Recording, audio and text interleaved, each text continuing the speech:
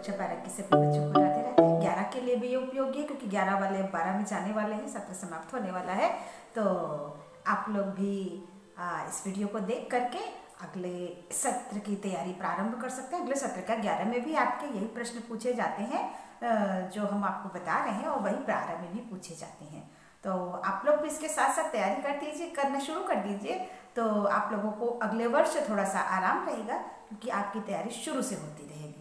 चलिए अपने कथनानुसार हम फिर से एक नए लेक्चर के साथ आपके सामने उपस्थित हुए हैं। हमने कहा था कि पिछले लेक्चर में पूरा नहीं हुआ है, थोड़ा बहुत बचा हुआ है मेरे हिसाब से।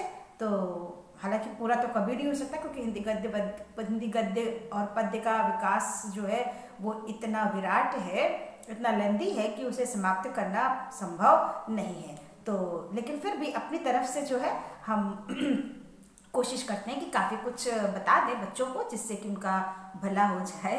एक टीचर होने के नाते स्टूडेंट का कल्याण करना ये मेरा पुनीत कर्तव्य है और उसी कर्तव्य बोध का ज्ञान करते हुए हम आपके सामने फिर से हाजिर हुए हैं। चलिए जहाँ से पिछला लेक्चर छोड़ा था, वहीं से हम फिर से शुरू करते हैं।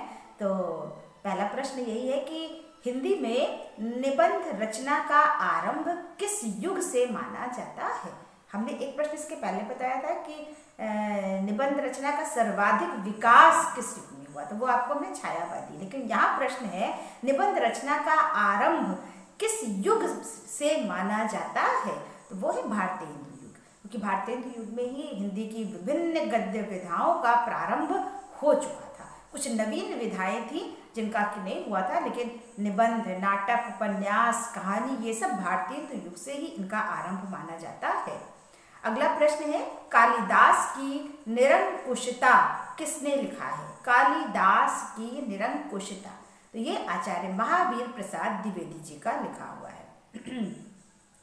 चिद विलास पुस्तक के रचनाकार कौन है? तो वो है डॉक्टर संपूर्णानंद जी।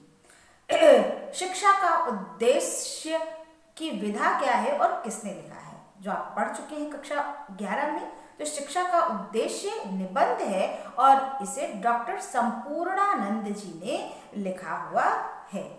सच्ची वीरता किसने लिखा है? सरदार पूर्ण सिंह ने। सरदार पूर्ण सिंह जी ने कुल छह ही पुस्तक लिखी हुई है तो उसमें एक सच्ची वीरता है और एक पवित्रता भी है, जिसे कि सरदार पूर्ण सिंह जी ने लिखा है, कन्यादान भी है। मजदूरी और प्रेम है, चार पुस्तक तो मैं आपको ऐसे बता दी। सरदार पूर्ण सिंह जी के द्वारा लिखी गई और ये सारे निबंध संग्रह, निबंध ही है उनके। केदारनाथ पांडे, किस लेखक का वास्तविक नाम है? केदारनाथ पांडे। तो ये राहुल सांस्कृतायन जी का वास्तविक नाम है। चंद्रधर शर्मा गुलेरी। किस युग के निबंधकार हैं? तो ये है द्विवेदी युग के निबंधकार हैं। निंदा रस। निंदा रस आपने अभी बारह में था, लेकिन कोविड नाइन्टीन की वजह से इस चैप्टर को हटा दिया गया, बहुत बढ़िया था चैप्टर। तो ये किस विधा की रचना है और किसने लिखा है? तो निंदा रस निबंध है और इसे हरिशंकर परसाई जी ने लिखा हुआ है। पृथ्वी पुत्र पृथ्वी पुत्र, विधा और लेखक। तो विधा है निबंध और लेखक है वासुदेव शरण अग्रवाल जी। अथा तो घुमक्कड़ जिज्ञासा, ये किस, ये विधा क्या है और लेखक कौन है? तो ये विधा है यात्रा वृत्त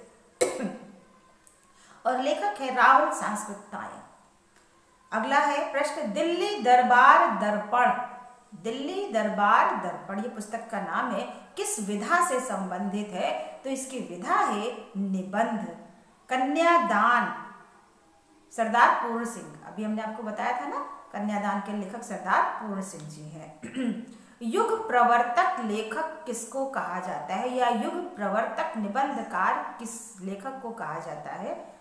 तो ये तो आप सभी जानते होंगे, आचार्य महावीर प्रसाद द्विवेदी जी को युग प्रवर्तक निबंधकार कहा जाता है।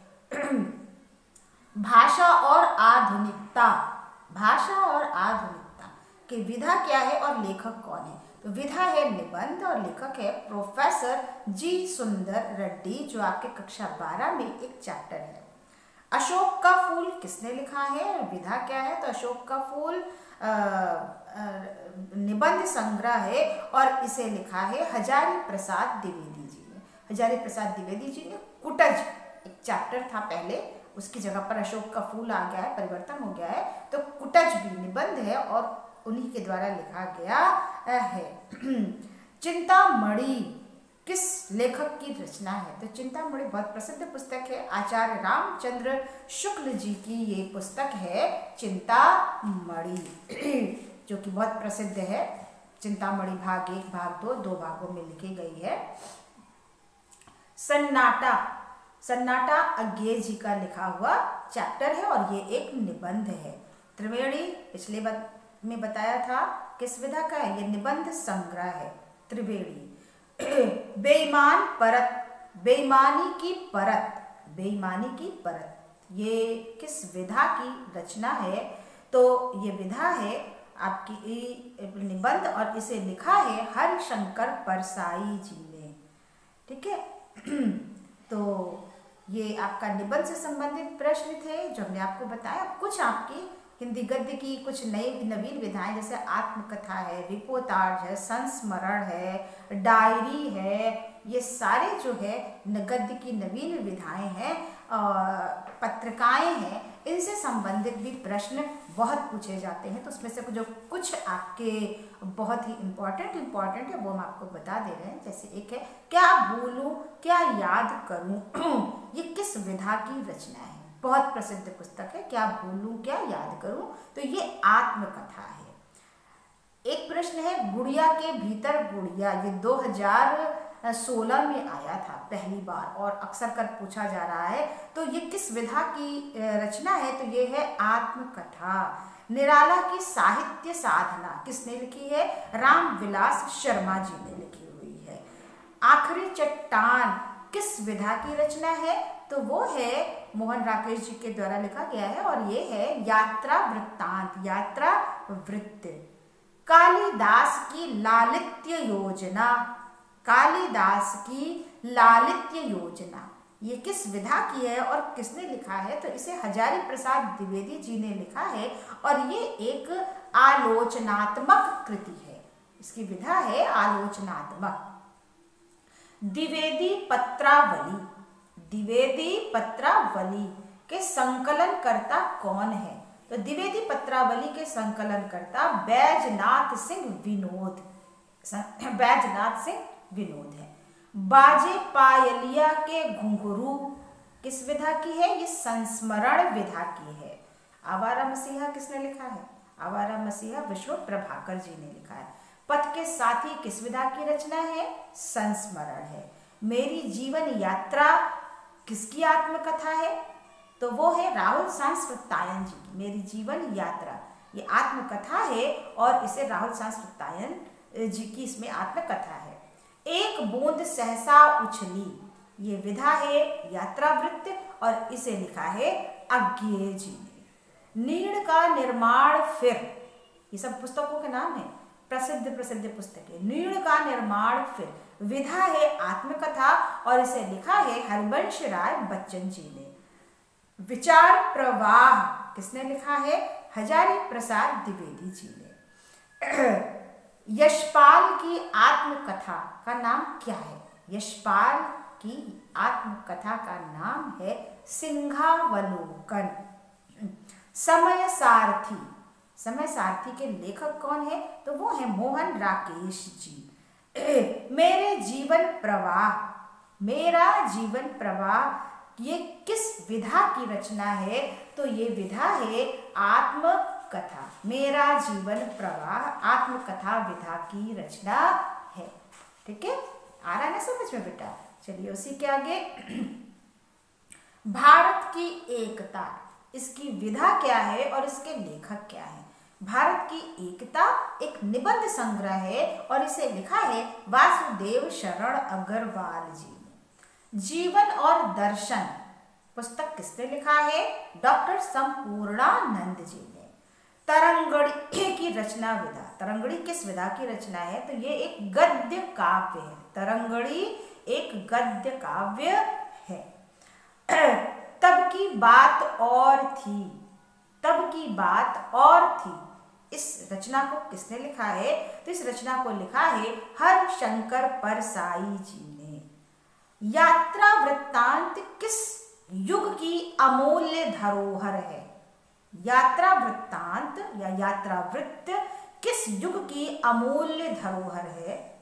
वो युग है छायावादोत्तर युग। आवारा मसीहा किसने लिखा है? अभी बता चुके हैं, विष्णु प्रभाकर। आवारा मसीहा विष्णु प्रभाकर जी का लिखा हुआ है। और ये जीवनी है, ये याद रखिएगा, हमेशा पूछा जाता है। आधुनिक काल के प्रारंभिक डायरी लेखक। डायरी भी एक गद्य विधा है। आधुनिक काल के हमने कहा है। प्रथम ने कहा, हमने कहा, आधुनिक काल के प्रारंभिक डायरी लेखक तो वो है घनश्याम दास बिड़ला। बंगाल का अकाल। बंगाल का अकाल किस विधा की रचना है? तो ये है रिपोतार्ज। पैरों में पंख बांधकर ये विधा और लेखक तो विधा है यात्रा वृत्तांत और लिखा है राम वृक्ष बेनी पुरी जी ने। अब अब पूछ रहे हैं, हिंदी के प्रथम डायरी लेखक। हिंदी, वो था आधुनिक काल के प्रारंभिक। घनश्याम दास बिड़ला बिड़ला और अब हम पूछ रहे हैं हिंदी के प्रथम डायरी लेखक तो वो है नरदेव शास्त्री वेद तीर्थ। कलम का सिपाही किस विधा की रचना है? तो वो है जीवनी। बड़ों के प्रेरणादायक कुछ पत्र। बड़ों के प्रेरणादायक कुछ पत्र। इसका संकलन किसने किया है? वियोगी हरि ने किया हुआ है। हिंदी कोविद रत्नमाला। हिंदी कोविद रत्नमाला। किसने लिखा है? डॉक्टर श्याम सुंदर दास जी ने लिखा हुआ है। समाजवाद रचना किसने लिखी है? डॉक्टर संपूर्णानंद जी ने।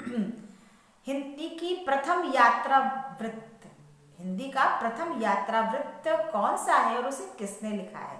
तो हिंदी का प्रथम यात्रा वृत्त है सरयू पार की यात्रा और इसे लिखा है, भारतेंदु हरीश चंद्र जी ने लिखा हुआ है। संपादन के द्वारा भाषाई विसंगति को किसने दूर किया? संपादन के द्वारा भाषाई विसंगतियों को दूर करने का प्रयास किसने किया? तो महावीर प्रसाद द्विवेदी जी ने। बनारस अखबार के प्रकाशक कौन है? बनारस अखबार, राजा शिव प्रसाद सितारे हिंद। और सरस्वती पत्रिका के संपादक कौन है? तो सरस्वती पत्रिका के संपादक तो आप जानते ही कक्षा नौ दस से पढ़ रहे हैं तो वो है आपके आ, महावीर प्रसाद द्विवेदी जी। तो आज के लिए इतना ही बेटा। और आशा करते हैं कि आप लोग को अच्छे से समझ में आया होगा। इसके अलावा भी अगर आपको कहीं से कुछ मिलता हो तो आप लोग जो है और भी पढ़ लीजिएगा। क्वेश्चन बैंक आपके पास हो, गई होगी। उसमें भी आप लोग देख लीजिएगा। हम ये नहीं कहते हैं कि हमने जो जितना ही बता, जितना बताया है, उसी में से आएगा। हमने तो सिर्फ़ इंपॉर्टेंट इंपॉर्टेंट बताया है और आशा करते हैं कि उसमें से आपको फंस जाए। अगर हमको एक आध देखती है, अगर हमको एक आध लेक्चर की ज़रूरत और पड़ती है, हिंदी गद्य के इतिहास में तो हम दे देंगे और नहीं तो फिर पद्य साहित्य का इतिहास हम शुरू करेंगे। ठीक है? तो इस आशा के साथ कि लोगों के लिए ये वीडियो बहुत उपयोगी होगा और इस, मेरी इस उपयोगिता, मेरी इस वीडियो का, वीडियो से आप लोग लाभ उठाएँ और बोर्ड के एग्ज़ाम में अच्छे नंबरों से पास हो। इस आशा के साथ सभी को मेरा प्यार भरा राधे राधे। धन्यवाद बेटा। एक चीज़ और आप लोग सब्सक्राइब करना ना भूलें। अधिक से अधिक देखें, शेयर करें और चैनल को सब्सक्राइब करना शुभ रात्रि